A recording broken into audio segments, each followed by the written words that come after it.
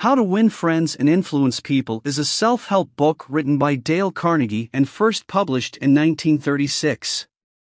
The book has become a classic in the self help genre and has sold millions of copies worldwide. It is a practical guide for improving social skills, building self confidence, and becoming more influential.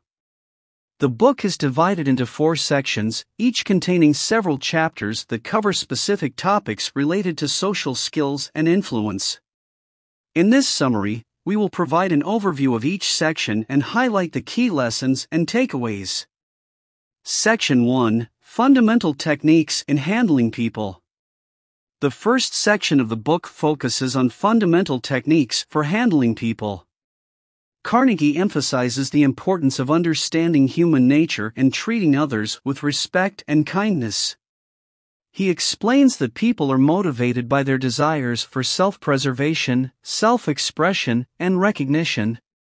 One of the key lessons in this section is the importance of avoiding criticism and instead giving sincere and honest appreciation. Carnegie explains that criticism is often counterproductive and can lead to resentment and defensiveness. Instead, he recommends focusing on positive reinforcement and praising others for their strengths and accomplishments. Another important technique for handling people is to show genuine interest in others and listen actively.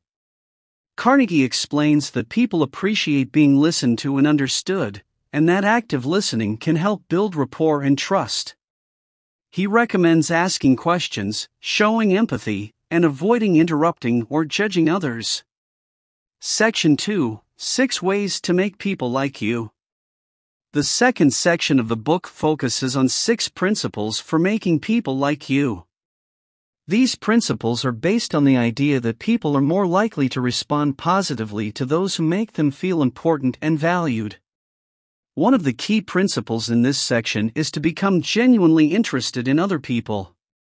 Carnegie explains that by showing a sincere interest in others, we can build strong relationships and create a positive impression. He recommends asking questions, remembering names, and showing empathy and understanding.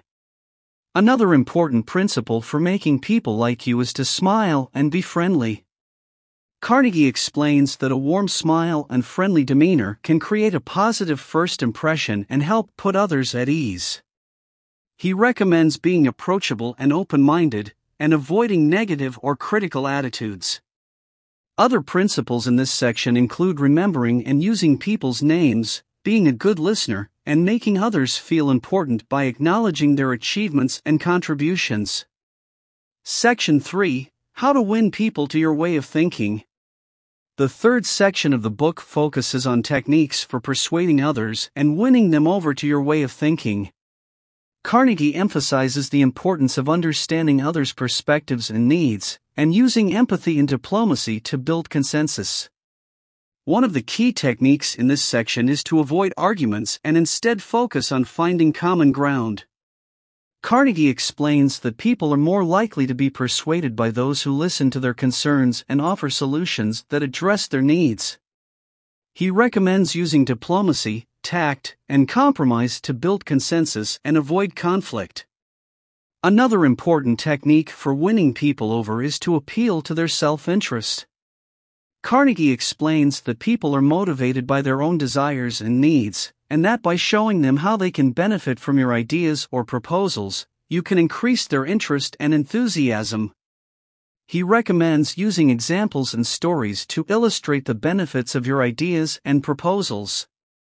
Other techniques in this section include admitting when you are wrong, using praise and appreciation to motivate others, and appealing to people's sense of pride and desire for recognition.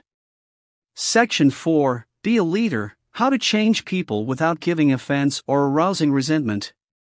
The fourth and final section of the book focuses on leadership and how to inspire and motivate others to change their behavior.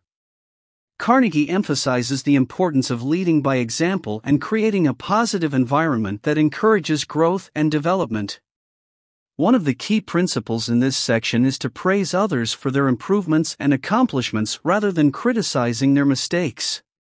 Carnegie explains that positive reinforcement can be a powerful motivator, and that by praising others for their efforts and achievements, we can create a positive environment that encourages growth and development. Another important principle in this section is to give others a sense of ownership and responsibility. Carnegie explains that people are more likely to be motivated and committed when they feel like they have a stake in the outcome. He recommends involving others in decision making and giving them a sense of autonomy and control. Other techniques for leadership include being a good listener, providing feedback and guidance, and leading by example. Carnegie emphasizes the importance of setting a positive example and being a role model for others to follow.